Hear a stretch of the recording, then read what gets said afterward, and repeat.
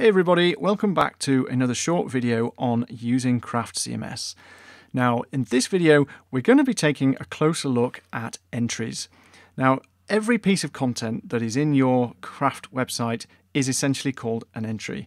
Now these might be spread across different sections of the site, they might make up different types of content. For example, your homepage, a news entry, an event, a blog post, all of those are different types of entries.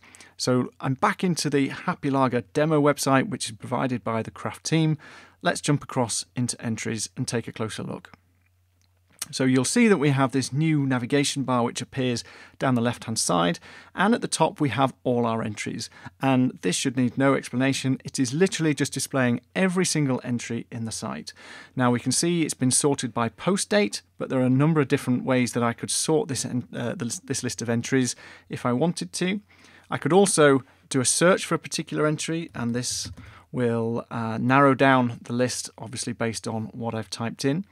I can also choose how I want that search to work. So I can look at uh, an average score based on the likelihood of what I've typed in matching a particular entry. Or I could filter down on the title, I could look at the post date, the expiry date, and I can also change whether it's ascending or descending. So there's a number of different ways that I can search through my entries. So as I said, we've got all of our entries listed in the All Entries section. Let's take a look at singles. Now, singles are what we might refer to as static pages. And when we talk about static pages, we mean that there is literally just one of these pages. So, for example, there can only be one home page, there can only be one about page. Whereas if we think of news entries, we might have multiple news entries that all follow the same format. So, by just looking at our singles, we're not saying that these are static pages that we can't edit them yeah, we can click into each of these pages, we can make our edits as we see fit. But these are just the pages that exist really in isolation. Uh, they don't have too much dynamic content coming through them and they sit on their own. So let's take a look at our news pages. Now, news pages, as we said, they might repeat on a particular format. So, what would be common in a website with news pages is that a news, the, the structure of a news page will always be the same. It's always going to have the same fields, and typically it will be sorted in chronological order by date. Now you might see between the singles and the news pages we've got some slightly different structures to our table here that's listing the entries. For example, we can see whether there's a featured entry. We can see if there's been an image that has been uploaded. So those all can be customized within Craft and if you would like to see other bits and pieces in that table that lists, lists your entries, then please do get in touch and we can show you how to set that up.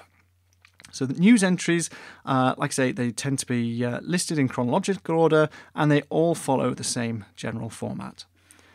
Let's click into services because these are the third type of content entry that we can have in Craft that is called a structure. Now I can see these are a structure because I've got this little diamond icon and wherever I see this diamond icon in Craft, that means I can click and drag to reorder a piece of content. And that's exactly what I can do here. So I could take this strategy page and I can move it up and down. In fact, I can take any of these pages to reorder them and that new position gets saved automatically. Now, there's one thing you do need to be careful with here because although this is really flexible and adds quite a bit of power into how you can use and uh, manipulate the content on your site, you can end up changing this URI. Now, it's not going to happen in this particular example, but if you've got more content or more complex structure, you can actually have what we call nested structures. So, for example, under development, I might have app development as a parent child relationship between those pages. Now, if app development moves into the development section, then the URI that we have over here would change and it would become services slash development slash app development. That's potentially a problem for search engines that might have indexed that page and then all of a sudden we move it and unless we tell the search engines that page has been moved, then that's just going to return a 404 error or a not found error as Google is crawling the site. So that summarizes the three different types of content entries that we have in Craft. We have singles, which are those individual pages that we looked at to begin with. Then we have something called channels, and that's uh, like the news section where the content follows a predictable and repetitive format. And then we have structures, which we can move around the site and control through uh, the navigation and so on.